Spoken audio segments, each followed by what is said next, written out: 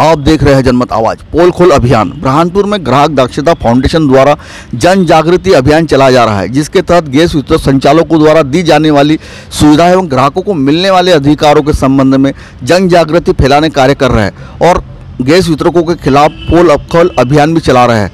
बुरहानपुर ज़िले के में ग्राहक दक्षता कल्याण फाउंडेशन की ओर से एक विशेष जन जागृति अभियान चलाया जा रहा है। इस अभियान के तहत गैस संचालकों द्वारा दी जाने वाली ग्राहकों को सुविधा एवं ग्राहकों को मिलने वाले अधिकारों के संबंध में जन जन तक उनके अधिकारों से अवगत कराने का कार्य संस्था द्वारा किया जा रहा है। उनका मानना है कि प्रधानमंत्री नरेंद्र मोदी द्वारा चलाई जा रही उज्ज्वला योजना के तहत सौ रुपये में कनेक्शन देना, ये बहुत ही महत्वपूर्ण और गरीबों के लिए लाभप्रद योजना है। इस योजना सौ रुपये में कनेक्शन तो दिया जा रहा है, किंतु राज्य सरकार को चार हज़ार रुपये प्रति कनेक्शन चुकाना पड़ रहा है। वही टंग एक टंकी का मूल्य ग्यारह सौ पचास रुपये है, जो एक गरीब परिवार के लिए बहुत ही महँगा साबित होता है। उज्ज्वला योजना के तहत गरीब को नौ सौ साठ रुपये टंकी मिलती है। वो वर्षों भर में मुश्किल से तीन या चार बार टंकी का उपयोग करता है। शेष टंकियाँ गैस वितरक ब्लैक में बेचकर लाभ कमा लेते हैं। संस्था के राष्ट्रीय अध्यक्ष नितिन सावंके ने देश भर में गैस वितरकों को विरुद्ध मोर्चा खोल दिया है। वही पोल खोल अभियान चला रहे हैं। उनका मानना है कि बुरहानपुर में गैस वितरकों कई अड्डे जहाँ 20 से 50 गैस सिलेंडर अतिरिक्त रखे हुए हैं और उन्हें ब्लैक में बेचते हैं। गैस वितरकों द्वारा ग्राहक को गैस सिलेंडर सीधे गोडाउन से देना चाहिए, ना कि मार्केट में। ज़मीन पर रखा सिलेंडर ग्राहकों के घर पहुँच, पहुँचाना चाहिए। साथ ही गिन कर दो या गिना कर लो। गैस वितरकों के पास एक तराजू भी होना चाहिए। आइए देखते हैं। आपका नाम और पद बताइए।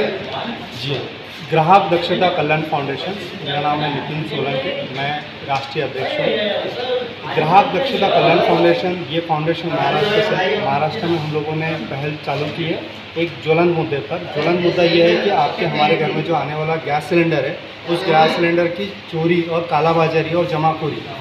बुरहानपुर शहर में हमने कहीं ऐसे जगह देखे हैं, जिस जगहों पर इन्होंने अवैध तरीके से गैस वितरकों ने एक स्टॉक पॉइंट बना के रखा है, जो कि 25 30 50 की संख्या में रहता है। पेसो विस्फोटक सुरक्षा संगठन के ये मार्गदर्शन के खिलाफ है।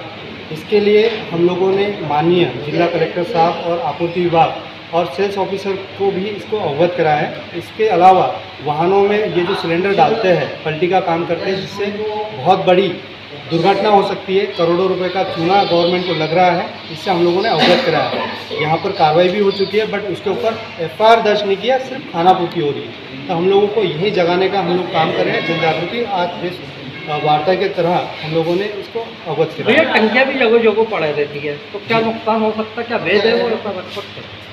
हाँ ये एक्चुअली कैसा, देखिए आप 90 केजी के ऊपर कहीं पर भी ज़मीन पर सिलेंडर रख नहीं सकते। ये विस्फोटक सुरक्षा विभाग का मार्गदर्शन है। और ये कहीं जगह पर हमने पाया गया, इसके फोटोग्राफ भी हमने जिला माननीय महोदय महोदया जी को दिया हुआ है। और ये बड़ी संख्या में है। कभी भी यहाँ पे ब्लास्ट होने की संभावना है।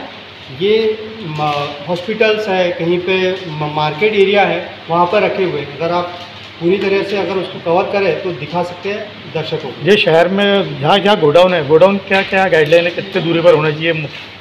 देखिए गाइडलाइन जो है वो आपको ऑनलाइन मार्केटिंग जो डिसिप्लिन है एम जो है उस पर लिखे हुए वो गाइडलाइन के थ्रू गोडाउन तो बनाए गए बट गोडाउन में माल नहीं रखा है। ये तो ज़मीन पर रखा है। तो ज़मीन पर माल नहीं रहना चाहिए कोई मतलब ज़मीन पर गैस सिलेंडर रहना नहीं चाहिए। तो ज़मीन पर गैस सिलेंडर है टू व्हीलर से इसका सप्लाई होता है, इसकी बिक्री होती है। आम कोई भी सब्ज़ी भाजी वाला कैसे लगाता है ठेला और बेचता है, आलू, बैगन ले लो, प्याज ले लो, वैसे ही चल रहा है यहाँ। तो ये गोडाउन से डायरेक्ट कस्टमर के घर में होना चाहिए कस्टमर ने इसको गिनकर लेना चाहिए, उनके पास में तराजू रहना चाहिए गिनकर लो गिनकर दो, ये योजना उन्होंने चलानी चाहिए, वज़न कर कर लेना चाहिए। तो एक एक किलो, दो दो किलो का ही होता है, एक छोटी सी नली रहती है, उस माध्यम से पलटी करते हैं। कई जगह पर ये ब्लास्ट भी हो चुके हैं। महाराष्ट्र में बड़े ब्लास्ट हो चुके हैं। राजस्थान में ब्लास्ट हो चुका है। हमारे गुजरात में ब्लास्ट हो चुका है। अवगत कराने के बावजूद भी अगर अधिकारी अगर कुंभकर्ण की नींद है, नींद में है तो उनको जगाने का काम हमारा एन जी का